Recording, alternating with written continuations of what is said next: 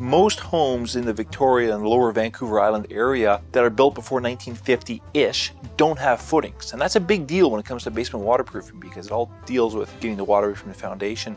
So the age of the home is very important. And also in the 60s to 80s range, there's a certain style of perimeter drain, the pipe around the outside of the home that was used.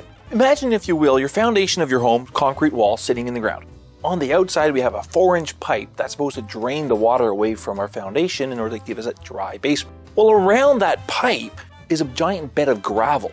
And that bed of gravel is designed to let this water, the rainwater, as it's percolating down beside the foundation, get into the pipe. Well, what happens is, is homeowners will flush out the pipe to keep them clean, but the gravel bed around that pipe is clogged with dirt. So water can't get into the pipe. And then water starts leaking into the basement because there's nowhere else to go. But when we're fixing a basement but digging up on the outside, it's darn tootin' expensive and a mess. We have to go down eight feet.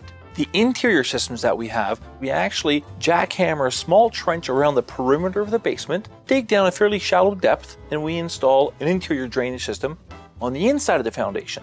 The advantage with it is on the inside is we're still taking care of the water below the basement slab so the floor stays dry.